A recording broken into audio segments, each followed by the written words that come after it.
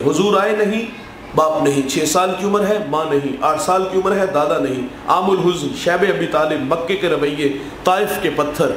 हम पढ़ते हैं हुजूर की ज़िंदगी में खुशी का सा समा था।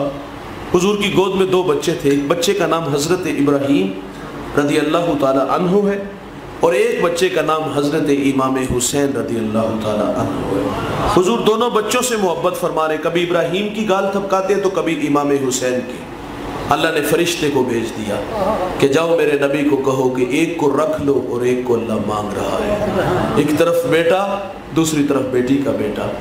हुजूर ने अपना बेटा पेश कर दिया। फिर हुसैन इबन अली से बेपना मोहब्बतें फरमाई। कभी कंधों पे सवार किया। सजदे में जाते हैं, तस्बीहात बढ़ा देते हैं। हुसैन की ज़ुबान मेरे रसूल इस तरह चूसते हैं जिस तरह खजूर चूसे जाती है। फरमाते, हुसैन मुझसे है, मैं हुसैन से हूँ। फरमाया, हुसैन, जन्नती जवानों का सरदार है। कभी फरमाया, अल्लाह, मैं प्यार करता हूँ, तू भी प्यार कर। जो हुसैन से प्यार करे, अल्लाह तू उससे प्यार फरमा। बड़ी मोहब्बत हुसैन इबन अली को नसीब हुई। फरिश्ता फिर आ गया और उसने आके पैगाम दिया कि आपके इस बेटे को दशत नैनवा में, मैदान करबला में ज़बा कर दिया जाएगा। करबल की मिट्टी दी गई, जब ये खून बन जाए तो जान लीजिएगा कि आपका नवासा शहीद हो गया और वो मट्टी उम्मे सलमा रदी अल्लाह तहा तक पहुँचे। भाईजान, जिन्हें इज़्ज़तें मिलती हैं, वो आजमाए जाते और ये आजमाइश हुसैन इबन अली पे कितनी कड़ी आई। साठ हिजरी को यजीद तख्त नशीन हुआ। उसने वलीद को पैगाम भेजा कि इमाम हुसैन से मेरे लिए बैत लो। रात की तारीकी में तलब किया इमाम हुसैन मुलाकात के लिए गए। तो उसने बताया कि कातब वही हज़रत अमीर मुआविया रदी अल्लाह तु का इंतकाल हो गया और अब वली अहद उसका बेटा यजीद है। और वो बैत के लिए कह रहा है। तो आप फरमाते मेरे जैसा शख्स रात की तारीकी में छुप के बैत नहीं कर सकता। आप वापस आने लगे तो मरवान बिन हकम ने सरगोशी की, वो नाइब था। उसने कहा, अगर ये शख्स चला गया तो बाद में काबू पाना मुश्किल होगा। अभी फैसला लो, बैत करते ठीक, नहीं तो सर काट के दमिश्क में यजीद की बारगाह में भेजो। जब ये बात की तो इमाम हुसैन ने सुन लिया। ऐसा नहीं हुआ कि जल्दी से बाहर आ गए, उन्हीं कदमों से वापस पलटे। फरमाए वलीद क्या कहा? तो वो कहते हम आपस में कोई बात कर रहे थे। फरमाए मैंने सुन लिया है। फरमाया, तुम जानते नहीं मैं कौन हूँ? मेरी रगों में हैदरे कर्रार का खून दौड़ता है। मैं अली का बेटा हूँ। हमारे घर में कुरान उतरता रहा है, फरिश्ते उतरते रहे पर यजीद फासिक है, फाजिर है। मैं हुसैन उसकी बैत से इनकार करता हूँ। दो टोक बात की घर आए, बहन जैनब से कहा कि हालात हमारे बस में नहीं, यजीद तख्त नशीन है। और वो बैत के लिए कह रहा है, और हमने बैत करनी नहीं, और वो रद्द अमल के तौर पर यहाँ लड़ाई चाहेगा, झगड़ा चाहेगा, और मैं शहर मदीना के तकदस को पामान होने नहीं दूँगा। यार, वहाँ तो बाजीद बुस्तामी, जुनेद बगदादी भी जाए तो सांसों को रोक के जाते हैं। वहाँ तो सांसों का शोर भी बेअदबी कहलाता है, क्योंकि ले सांस भी आहिस्ता के दरबार नबी है। आला हज़रत ने लिखा है, मदीने जाओ तो आँखें भी पूरी ना खोलो। इमाम मालिक ने चालीस साल रोज़े रसूल पे दरस हदीस दिया एक बार भी ऐसा नहीं हुआ, किताब का वर्क पलटा हो और आवाज़ पैदा हुई हो। आप मदीने की गली बाज़ार से गुजरते तो दीवार के साथ लग के गुजरते थे। कंधे जख्मी हो जाते। किसी ने इमाम मालिक से कहा, हजूर वाला, हुजूर के शहर मदीना के गली बाज़ार इतने तंग सोड़े तो नहीं कि आप दीवार के साथ लग के गुजरते हो? तो आप फरमाते ये वो राहें हैं जिन राहों से मेरे महबूब गुजरे हैं। एहतियात इसलिए कि कहीं बेखबरी में मेरा पाँव वहाँ ना आ जाए, जहाँ मेरे रसूल के कदम लगे हैं और बेअदबों में ना लिख दिया जाओ सैदना सदीक अकबर रदी अल्लाह तुमने ने वहाँ दीवार खड़ी कर दी, जहाँ मेरे नबी की पेशानी लगती थी। और वो दीवार आज भी मौजूद है। मुसल्ला खींच के पीछे आ गई जहाँ हुजूर के कदम लगते हैं, वहाँ अबू बकर की पेशानी आती है। तो कहा, मैं इस शहर को खून से लालाजार नहीं होने दूँगा तकदस को पावान नहीं होने दूँगा। मशवरा ये तय पाया कि हम मदीना छोड़ के मक्का चले जाते हैं। मदीना छोड़ दिया गया और ये लोग मक्का आ गए। अब सवाल है, मदीना छोड़ना क्या इतना ही आसान है?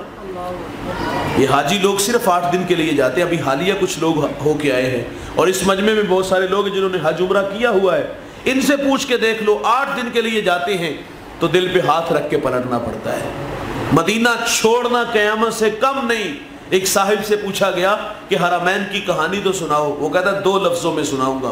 काबातुल्ला पे पहली नज़र मुश्किल है और रोज़े रसूल पे आखिरी नज़र बड़ी मुश्किल है। मदीना छोड़ना क़यामत से कम नहीं है। यार, ये वो हैं जिन्होंने देखा है, और कुछ लोग ऐसे हैं जिन्होंने अभी तक मदीना देखा नहीं। कभी उनसे पूछो कि मदीने की याद कितना तड़पाती है। मदीने की याद में सुलगना और उसके लिए मुस्तरब रहना कितनी अजीब कहानी है। मेरे टीचर हैं सलीम दलावरी।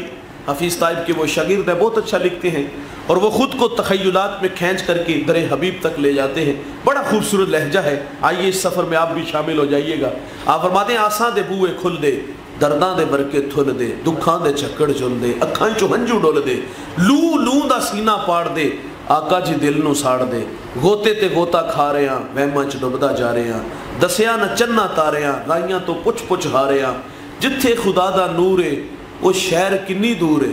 ਸੋਚਾ ਪਕਾਂਦਾ ਜਾਵਨਾ, ਮਨ ਵਿੱਚ ਬਿਠਾਂਦਾ ਜਾਵਨਾ, ਨਕਸ਼ੇ ਪਕਾਂਦਾ ਜਾਵਨਾ, ਕਰ ਲੈ ਕਰੀਨਾ ਇੰਜ ਦਾ, ਹੋਣਾ ਮਦੀਨਾ ਇੰਜ ਦਾ।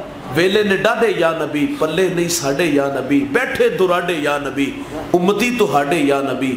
ਹਿਜਰਾਂ ਦੇ ਫਨੀਰ ਸ਼ੂਕ ਦੇ, ਮੁੜ ਮੁੜ ਕੇ ਇਹੋ ਕੂਕ ਦੇ। ਆਮਨ ਮੁਰਾਦਾਂ ਪੱਕ ਕੇ, ਕਿਸਮਤ ਲੈ ਜਾਵਣ ਥੱਕ ਕੇ, ਸੋਹਣਾ ਮਦੀਨਾ ਤੱਕ ਕੇ ਬੈਜਾਵਾਂ ਜਿਸ ਦਮ ਥੱਕ ਕੇ। ਠੰਡੀ ਹਵਾ ਜੇ ਵਗ ਜਾਏ ਤੇ ਅੱਖ ਜ਼ਰਾ ਕੋ ਲੱਗ ਜਾਏ ਕਮਲੀ ਜ਼ਰਾ ਸਰਕਾ ਕੇ ਮੁਖੜੇ ਤੋਂ ਪਰਦਾ ਚਾ ਕੇ ਖਾਬਾਂ 'ਚ ਫੇਰਾ ਪਾ ਕੇ ਆਕਾ ਇਹ ਆਖਣ ਆ ਕੇ ਰਾਮਾਂ ਦੀ ਸਖਤੀ ਝੱਲ ਕੇ ਆਏ ਉਹ ਦੂਰੋਂ ਚੱਲ ਕੇ ਉਲਫਤ ਦੇ ਡਾਬੂ ਤਰ ਕੇ ਹੌਕੇ ਸਲੀਮ ਭਰ ਕੇ दिल न आनंद आ गया सानू पसंद आ गया कोई कहता है करम फरमाओ साढ़े ते हबीबी या रसूल अल्लाह मदीने आउन नहीं देती गरीबी या रसूल अल्लाह यार जिन्होंने नहीं देखा ये कैफियात उनकी है जो देख आए हैं वो बार बार की आरज़ू करते हैं जो पलटते हैं दिल पे हाथ रख के पलटते हैं हुसैन पैदा मदीने में हुए बचपन मदीने में गुजरा लड़कपन मदीने में गुजरा जवानी की बहारें मदीने में और अब छप्पन साल उम्र है, छोड़ना इतना ही आसान था। छोड़ दिया भाई। मदीना छोड़ करके मक्का आ गया। इश्क बार आँखों से नाना मुस्तफ़ा के कदमों में हाजिर हुए जन्नतुलबकी में माँ से इजाज़त चाहिए ये मक्का शबानमज़म में ये काफ़िला चला और चार माह कुछ दिन ये लोग मक्का ठहरे और फिर ये लोग कोफा चले गए। क्योंकि कोफा वालों ने आपको बहुत सारे ख़त लिखे कि हम बेईमाम हैं और आप हमारी सरप्रस्ती फरमाएँ। और बाज़ ख़त तलक थे जिसमें उन्होंने कहा था कि अगर आप ना आए तो हम अल्लाह को शिकायत करेंगे कि हमें आपके नबी के नवासे की ज़रूरत थी और ये हमारी मदद के लिए नहीं आए। तो आपने मुस्लिम बिन अकील रदी अल्लाह तु को अपना नुमाइंदा बना के भेजा और वहाँ के जो गवर्नर थे वो नोमान बिन बशीर रदी अल्लाह तहो थे और वो मुहिब अहल बैत में से थे। उन्होंने कोई मुजाहमत नहीं की। पहले दिन सत्रह हज़ार कोफ़ी बैत करता है, चंद दिन में चालीस हज़ार तक तादाद चली जाती है। और मुस्लिम बिन अकील अपने भाई को ख़त लिख देते हैं कि यहाँ के हालात साजगार हैं, आई और इनकी सरप्रस्ती फरमाएँ। यहाँ से ख़त मक्का चला गया और उधर कोफा के हालात यकसर बदल जाते हैं। जो यजीद के हमायती थे, उन्होंने यजीद को ख़त लिखा कि जिस शख्स को तूने यहाँ मुतन किया है, वो तो हाथों पे हाथ धर के बैठा है। अगर ये सिलसिला इसी तरह चंद दिन चला तो तेरी हुकूमत को यहाँ ख़तरा है। और किसी ऐसे शख्स को यहाँ भेजो जो यहाँ के फितने को दबाए। तो उसने फिर इबन ज़्याद बदबख्त को भेजा। वो रात की तारीकी में आया, हिजाजी लबास पहना, चेहरे पे कपड़ा डाला। और लोग समझे कि शायद कि ये इमाम की सवारी है। लोग पीछे पीछे चलने लगे। और ये सीधा नुमान बिन बशीर रदी अल्लाह तु के महल तक आया। आप भी समझे शायद कि इमाम आ गए उन्होंने महल का दरवाज़ा बंद किया, छत पे चढ़े और कहा, मेरा मशवरा है कि आप वापस चले जाए। तो इसने चेहरे से नकाब उठाया और ये इबन ज़्याद था। इसने कहा, दरवाज़ा खोलिए मुझे यजीद ने भेजा है। नोमान बिन बशीर रदी अल्लाह तु को मौजूल किया गया और मुस्लिम बिन अकील को बेदर्दी से शहीद कर दिया गया। यहाँ के हालात बदल गए और उधर से इमाम हुसैन ने आने का फैसला कर लिया। दो जुलहज, सात या आठ जुलहज थी। आप आने लगे तो साहबा ने कहा, हज़रत, आप ठहरिए। पूरी दुनिया से लोग आए हुए हैं। हम यजीद की ईंट सींट बजा देंगे। लेकिन आप फरमाते मैं इस शहर के तकदस को पमाल नहीं होने दूँगा। और फरमाया कि मुझे उन्होंने बहुत सारे ख़त लिखे हैं। और यहाँ तक कह दिया कि अगर आप ना आए तो हम अल्लाह को शिकायत लगाएँगे।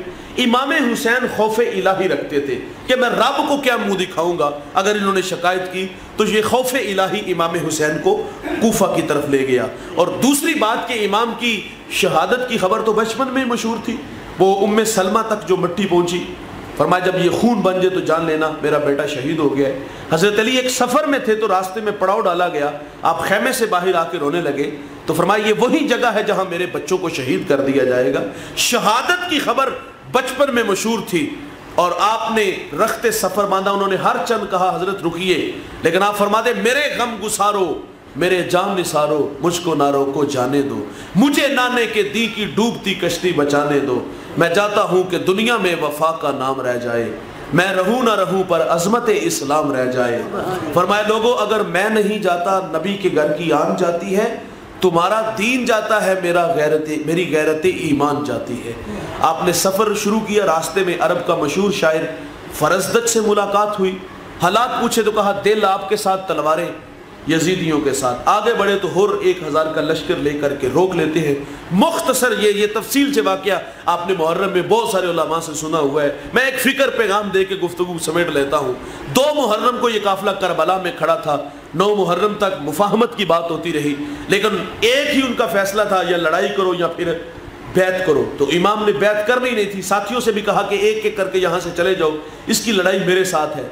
तो उन्होंने भी कहा कि हमने जीने मरने के वादे किए हैं, बेवफा नहीं। आपके साथ ही रहेंगे, नौ मुहर्रम को मुनाजात अल्लाह की इबादत में गुजरे और उधर शराब के जाम चलते रहे।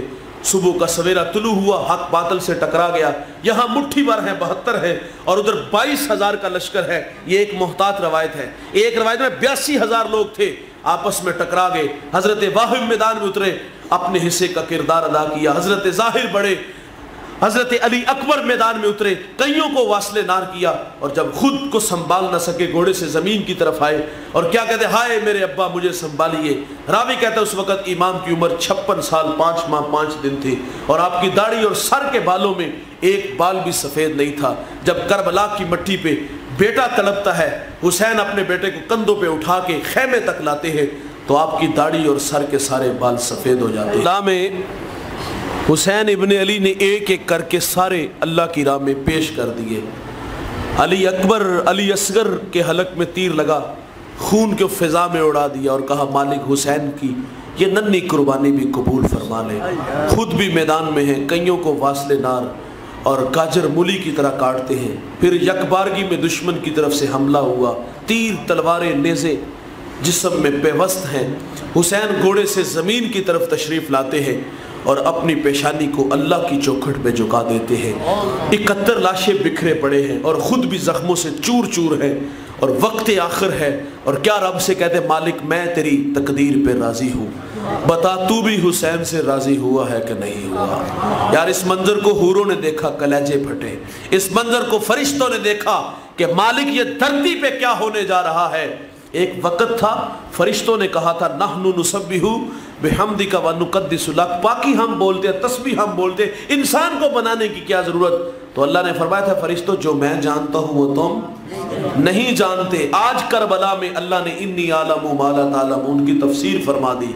फरिश्तों तुम्हारे सीनों में दिल, उसमें धड़कने, उसमें कासम का प्यार, अली अकबर की मोहब्बतें, अली असगर की चाहते होती।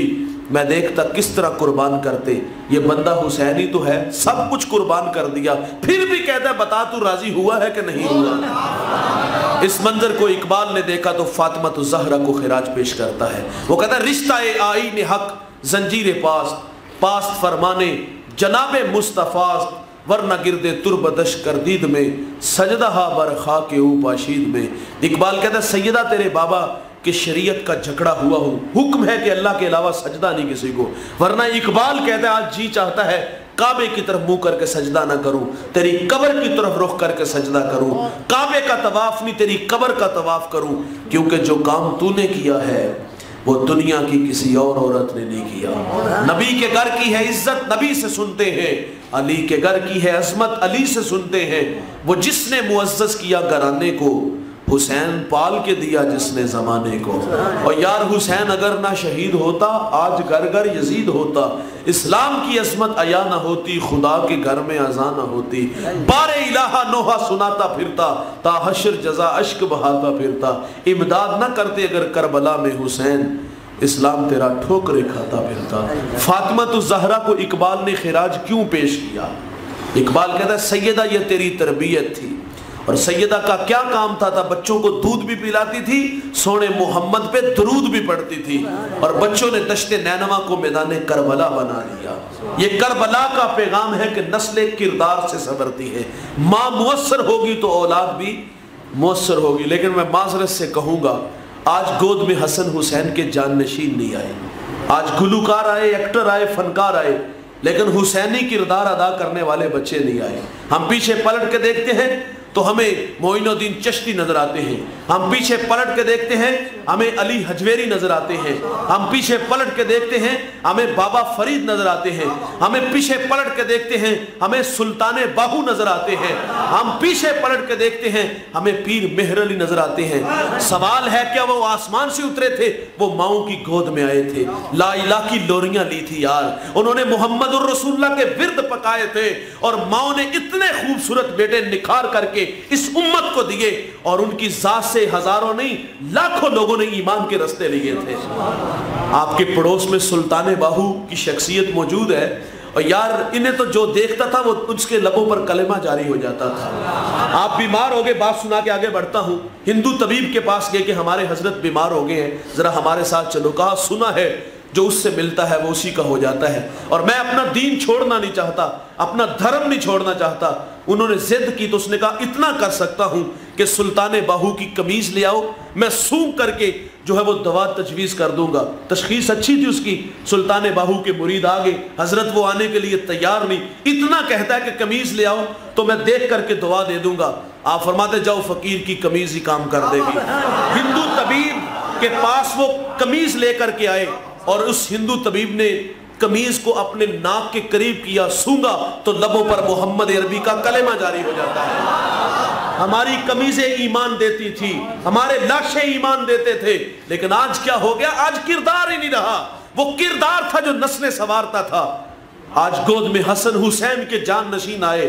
ना आए यार, आज कहतुर रिजाल है, लोग मिलते ही नहीं।